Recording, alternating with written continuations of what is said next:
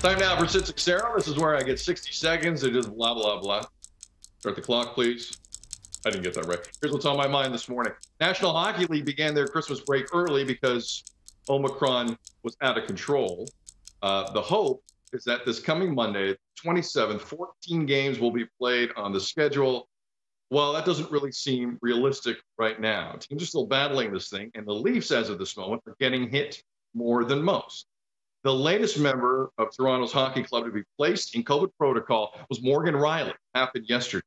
He joins Travis Dermott, Rasmus Sandin, TJ Brodie, David Kämpf, Ilya Mikheyev, John Tavares, Jason Spezza, Wayne Simmonds, Alex Kerfoot, Jack Campbell, and Peter Mrazek on the sidelines due to COVID. Oh, by the way, head coach Sheldon Keefe, assistant Spencer Carbery, and goalie instructor Steve Briere are also in protocol. Leafs are scheduled to be in Columbus on Monday night. Now, I'm no doctor, but I don't know if that game's happening. I'm rooting for it, but I don't know. Ladies and gentlemen, I'm not going to say anything. Just observe Sam Cosentino force and bring him in. Like, boom, boom. Let this breathe, Sammy. Just uh, who is your designer? I feel like I'm on an Oscars red carpet here. Who, who are you wearing? Well, you know, it's an old school from when I used to do games and I busted out. I remember we were doing a game in Vancouver and I busted out on RJ right before on camera and he, uh, you know, similar reaction to you, but less time to react. So we had a good, uh, a good blast about that.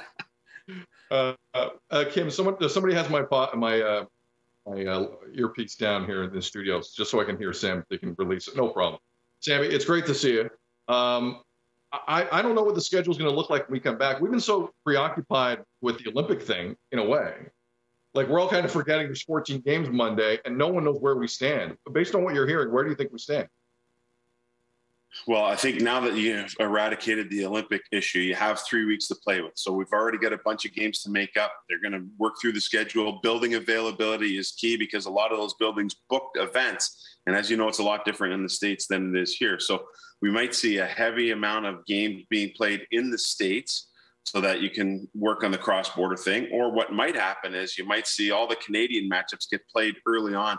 And hopefully, as we get through this Omicron thing, we learn more about it, we can recover quicker from it. Then you can be able to get back to a schedule that might see teams get down into the States. So we might get into that Canadian division thing, at least temporarily, to eradicate some of the issues with travel. But I don't think we're going to see anywhere near 14 games played on the Tuesday.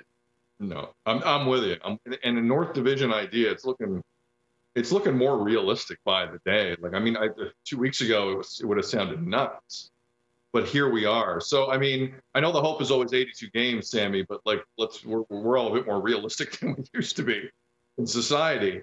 How many how many games? If I offered you like 72 games right now, you think the league would take it? Oh yeah, I don't think there's any question about it. I mean, it's unless you move towards a different model on how you want to treat this thing in terms of not testing asymptomatic players, just going about your business because you think everyone's going to be healthy. So obviously, there's a liability issue. We and the NHL hasn't gone down that road yet because of it. But I do think that there's going to become a point where we're going to say, "Hey, people are double vaccinated. They've gotten boosted." Now we're going to make a situation where if you're symptomatic, you're going to test, you're going to be isolated from the team.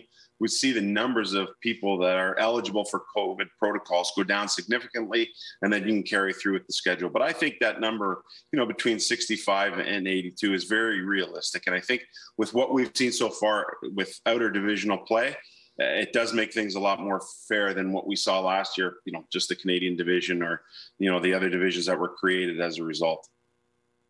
He is Sam Cosentino, Sportsnet. Uh, we've gone go back a long way, a long way. Uh, and he is the one who put all other Christmas pajamas to shame on this show with that jacket. It is done. it's a wrap, Cos. It's a wrap. Uh, Merry Christmas to the fam, man. Love you. And let's talk again soon in the new year. Take care, brother. Thanks. Happy holidays. Thanks for having me. Hope everyone stays safe. Right back at you, brother. Love it. He's one of the best. He's Sam Cosentino from Sportsnet, and he is a friend of the show, and we appreciate every time he comes on.